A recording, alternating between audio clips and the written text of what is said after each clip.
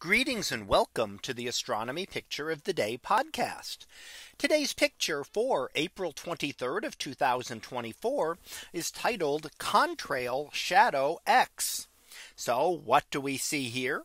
Well, here we see two contrails and you can see those cloud trails stretching across the sky and intersecting just above the tall building in the foreground. Now these are left behind by airplanes. So as airplanes go through the atmosphere, they can leave water behind. So water droplets that will freeze in the upper atmosphere and that can form clouds. So we can see them here as very bright when illuminated from below. And we know that they're being illuminated from below. First of all, we can see them glowing brightly bright white color. And we can also see the shadow they are casting on other clouds. So just like because they're lit from below that they will cast shadows just like any other object. Clouds, while not solid, are dense enough to cast a shadow. And here we can see that we can see how that X shaped uh, contrails crossing down below up above on the cloud also appears as a large X.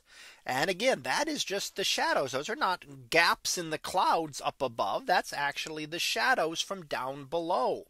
So the light shining down below there is blocked out by the contrails and casts that shadow just as any other object would cast a shadow as we've seen many shadows of the uh, cast by the moon passing in front of the sun recently from the eclipse of a couple of weeks ago. Now normally this shadow would be invisible. You normally would not see this going across the uh, across the sky because if the sky were clear, the shadow would just trail off into the clear atmosphere and you'd never see anything. However, because the cloud cover is there up above, we actually get to see the shadow. So this could happen all the time and you would not even know it if the sky had been more clear. If that cloud, those upper clouds were not present, you would not see this shadow. Now we look at clouds and clouds occur in many places in the solar system. So clouds are not unique to Earth.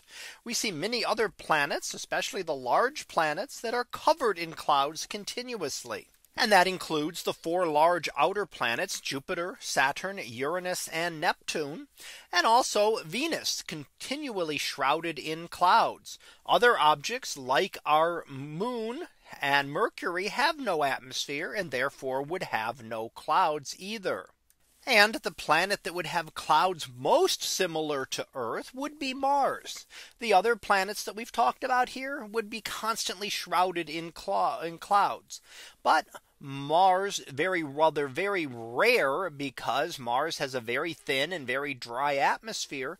They are sometimes visible and you will get sometimes actually clouds on Mars, which is something astronomers are currently studying with the different Mars rovers by watching the atmosphere to see when they develop. So that was our picture of the day for April 23rd of 2024. It was titled Contrail Shadow X. We'll be back again tomorrow for the next picture previewed to be a star's art. So we'll see what that is about tomorrow. And until then, have a great day, everyone. And I will see you in class.